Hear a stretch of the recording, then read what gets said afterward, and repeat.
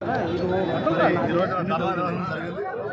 రోజున అన్ని పార్టీల వాళ్ళు కూడా రాజకీయాలు పక్కన పెట్టి రాజకీయ జెండాలు పక్కన పెట్టి ఒకే లక్ష్యంతో విశాఖ ముక్కు ఆంధ్రుల హక్కు అనే నినాదంతో రోజున మళ్ళీ రాష్ట్ర ఓటు రావడం జరిగింది.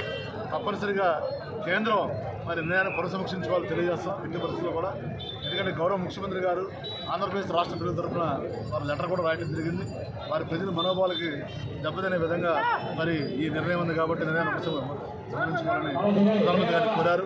ప్రధానమంత్రి గారు మరి ఎలాంటి విలువలకు పోకుండా ఈ ప్రజల యొక్క ఆకాంక్షలకు అనుగుణంగా ఈ నిర్ణయాన్ని ఉపసంహరించుకుని దీన్ని ప్రైవేటీకరణ తక్షణం రద్దు చేయాలి. మరి తప్పనిసరిగా సొంత గనులు కేటాయించాలి. రాబోయే రోజుల్లో ఈ స్టీల్ ప్లాంట్ ఎన్నో వేల కోట్ల రూపాయల గతంలో ప్రాఫిట్ ఇచ్చింది. మరి రాబోయే రోజులు కూడా ఇస్తుంది. ఇది ఒక దేశ సంపద జాతి సంపద. దీన్ని ప్రైవేట్ వ్యక్తులకి అప్పగించడం అనేది దేశానికి కానీ రాష్ట్రానికి కానీ శ్రేయస్కరం కాదు. ముఖ్యంగా బీజేపీ నాయకులకు అసలు శ్రేయస్కరం కాదని తెలియజేసుకుంటూ దీని ఎట్టి పరిస్థితుల్లో కూడా దీన్ని ఒప్పుకునేది లేదు. ఈ రాష్ట్రంలో పుట్టినటువంటి ఆంధ్రప్రదేశ్లో పుట్టినటువంటి ఏ తెలుగు ప్రజలు కూడా ఈ తెలంగాణ రాష్ట్ర ప్రజలు కూడా చాలా మంది ఫోన్ చేశారు. ఎట్టి పరిస్థితుల్లో దీన్ని ప్రైవేటీకరణకి ముఖ్యమైన సమస్యలను తెలియజేసుకుంటూ తక్షణ నిర్ణయాన్ని ఉపసంహరించుకోవాలని డిమాండ్ చేస్తున్నాం. బీజేపీ నాయకులు జనసేన నాయకులు కూడా దీని మీద కేంద్రం ఒత్తిడి డిమాండ్ చేస్తున్నాం ఈ రోజున జరిగింది. ఈ రోజున అన్ని పార్టీల వాళ్ళు కూడా రాజకీయాలు పక్కన పెట్టి రాజకీయ జెండాలు పక్కన పెట్టి ఒకే లక్ష్యంతో విశాఖ ముక్కు ఆంధ్రుల హక్కు అనే నినాదంతో రోజున మళ్ళీ రాష్ట్ర ఓటు జరిగింది.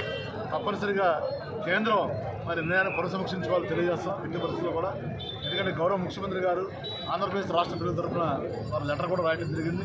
వారి ప్రజల మనోభావాలకి దెబ్బతినే విధంగా మరి ఈ నిర్ణయం ఉంది కాబట్టి నిర్ణయాన్ని ఉపసంహరించుకోవాలని ప్రధానమంత్రి గారు కోరారు.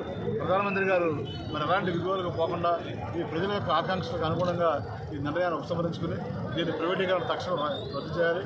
మరి తప్పనిసరిగా సొంత గనులు కేటాయించాలి.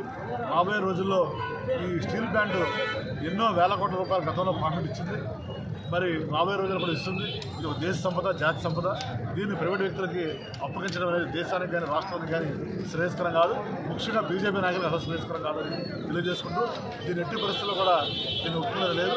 ఈ రాష్ట్రంలో పుట్టినటువంటి ఆంధ్రప్రదేశ్లో పుట్టినటువంటి ఏ తెలుగు ప్రజలు కూడా ఈ తెలంగాణ రాష్ట్ర ప్రజలు కూడా చాలా మంది ఫోన్ చేశారు. ఎట్టి పరిశ్రమ ప్రైవేటీకరణకి కొన్ని సమస్యలను తెలియజేసుకుంటూ తక్షణ నిర్ణయాన్ని ఉపయోగించుకోవాలని డిమాండ్ చేస్తున్నాం. బీజేపీ నాయకులు జనసేన నాయకులు కూడా దీని మీద కేంద్రం ఒత్తిడి డిమాండ్ చేస్తున్నారు